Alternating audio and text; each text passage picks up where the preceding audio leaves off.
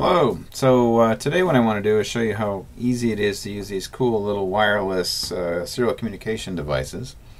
Um, the HC12, and if you look at it, I'll see if I can zoom in here. Usually it works pretty well. Okay.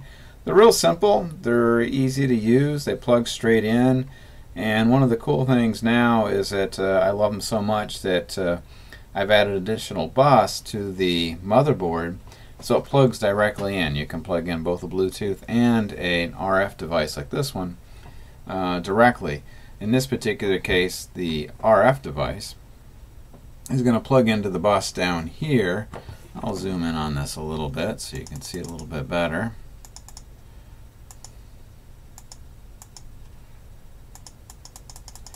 Okay, so the new bus, it sits right along here. Okay, and it plugs in in these last five holes, okay, with the electronics facing inward. And the reason is, is that I've uh, put it down here lower because if you look at the uh, layout of the Teensy 3.2, we find that hardware serial 2 is down here on pins 9 and 10. Okay, so I've moved it down so pins 9 and 10 hook directly up to this device. Pins 1 and 2 actually hook up up here, which is where you'd be on the Bluetooth device. They are not interchangeable because unfortunately when they were designed, if we look at it very carefully, we can see the TX and RX pins as they fade in and out of focus. I'm sorry about that. Let's try that one more time. Uh, it's not going to focus very well, which is frustrating. The TX and RX pins are in fact flipped on the Bluetooth device versus this device, so they have to be in two separate pins or two separate slots. At any rate, um, let me go ahead and zoom back out and let's take a quick look um, at what we've got going here. And what I want to show you is a real simple piece of code. I'll explain the layout first. So what I'm going to do is use this one here as a transmitter. And of course I have a battery supply, so when we're untethered we'll be able to continue to transmit data from this device. And over here I've got a similar setup on a Teensy 3.5 again with the same bus. So this guy is going to be our receiver in this particular example. Let's look at the uh, code. Okay, and it's really pretty simple. This is a, a very simple set of uh, uh, instructions here. Uh, in the main loop, I have my choice between either getting the hardware serial communication or sending the hardware serial communication. Um, since we're going to be setting up this little guy here first, this one, I'm going to go ahead and comment out get and uncomment out the send. And in this particular case, the only thing we have to do is at the beginning, we do have to uh, create the hardware serial port, make sure it's accessible to code. Uh, like I said, it is hooked up to hardware serial 2. Okay, so I'm hooked up right here on pins 9 and 10. And so I'm going to go ahead and create it. I decided to call it HW serial hardware serial. That's going to be the port we're going to be using. In setup, just like you do with the regular serial port, you have to initialize it. I'm going to set it to 9600 baud.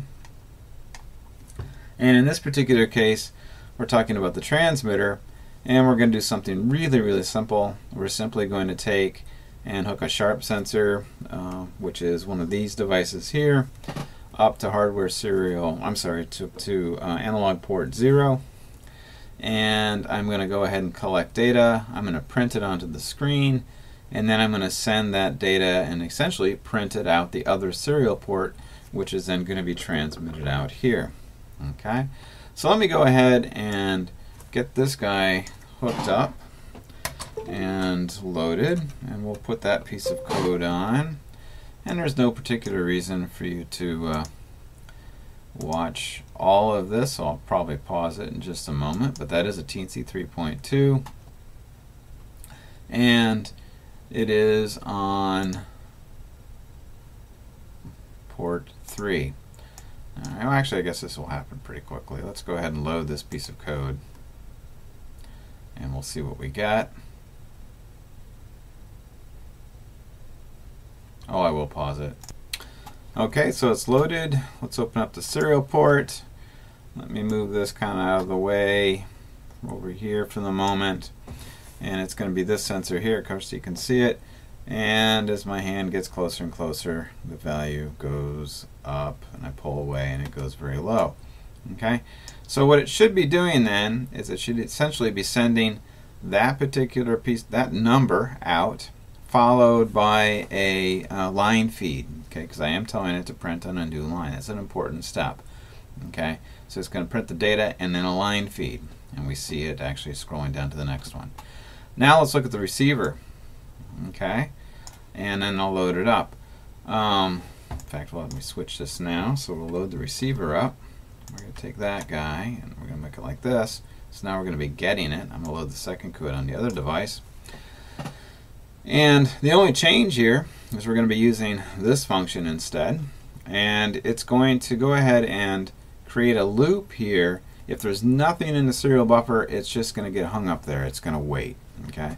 If in fact the serial buffer has so something in it, it's then going to run this command where it's going to go ahead and print the data that it collects. And this is an important uh, kind of cool new feature here. It's going to read the string until a 10. Well, 10 is a line feed. Okay. If you haven't looked at an ASCII table for a while, you can see that the decimal value 10 is line feed. Okay. So we're going to be looking for a line feed and we're going to be then printing out that particular set of data. So let me go ahead and unplug this guy and plug it into this one. And in this case, I definitely am going to pause it while I set this all up. Uh, give me one moment. Okay, so I switched it over to the Teensy 3.5 and I switched the port. And let's go ahead and load this guy up. And again, I'll pause it briefly while it's loading and then we'll take a look at it. Okay, it just finished loading. So let's open up the serial window and we see something that looks uh, pretty similar. Uh, let me move this out of the way so you can see what's happening. All right, and if I put my hand, we can see that the value goes up. Now notice that the sharp sensor is connected to this teensy, but the data is coming from this teensy. Okay, so this guy here is transmitting the data, and this guy is receiving it. So what we're seeing is that transmitted data going back and forth. Again, this code is about as simple as I could come up with. It doesn't say anything, there's no additional information. It is literally just taking the data and printing it straight away. So let me go ahead and pull up yet another piece of code. Actually, I'll go ahead and minimize this one. And let's take it a little bit higher. All right. We're going to have the same basic setup, but this case I'm going to actually use multiple sensors and we're going to use a little bit of a, a little bit of coding to sort of separate it. Um, so let's go take a look. Actually, let's look at the hardware first.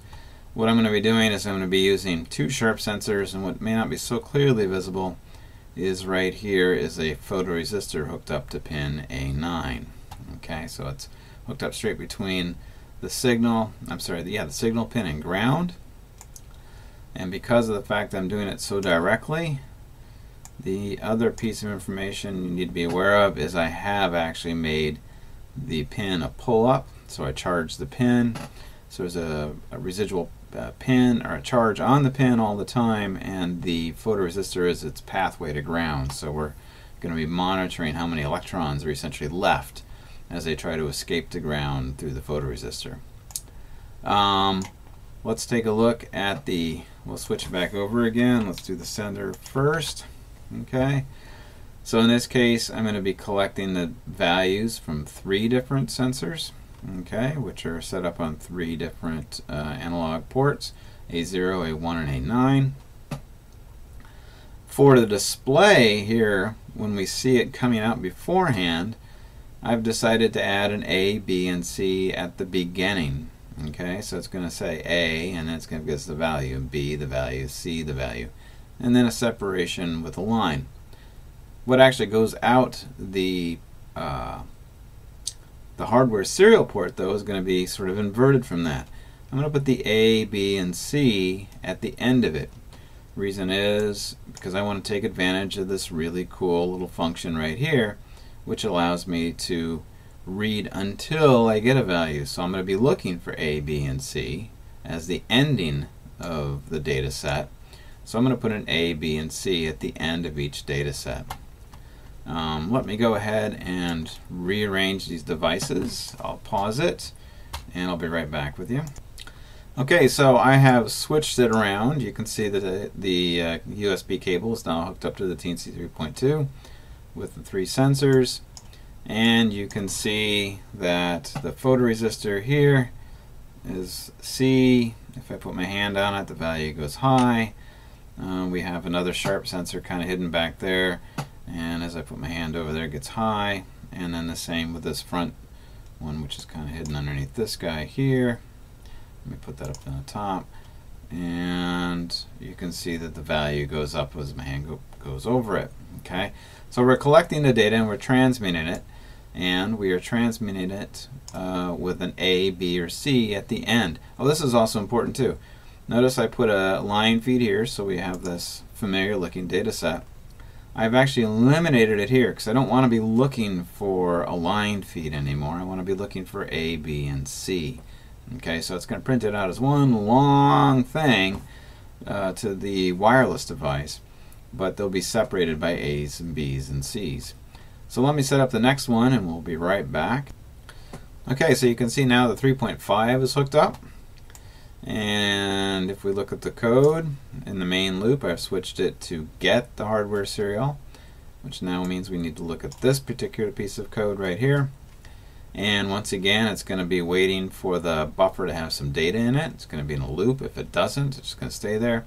If it does have data, okay, it's now going to go ahead and start breaking that data down. It's going to be looking for the A, the B, and the C, okay, and printing that set of data. So if I come over here and turn on the serial port, we can see that we are in fact getting A, B, and C. And if I put my hand over this one, A goes up. If I put my hand over this one, B goes up. And as I put my hand over this one, it darkens and C goes up. Okay, so we're transmitting data from this one to this one. And of course, in this short tutorial, I haven't really gotten into too much. I could be saving these into variables. Um, I could do any one of a number of amazing things. I should point out that there is um, lots of options so far as how you can interpret serial data if you just go to the Arduino page. And I'm choosing to use read read string until okay but there are a number of different ways that you could be dealing with this data and I think the next thing is I'll probably make a slightly more elaborate piece of code and further elaborate on this port on the new PRT motherboard. So hopefully that was useful and I'll see you again soon.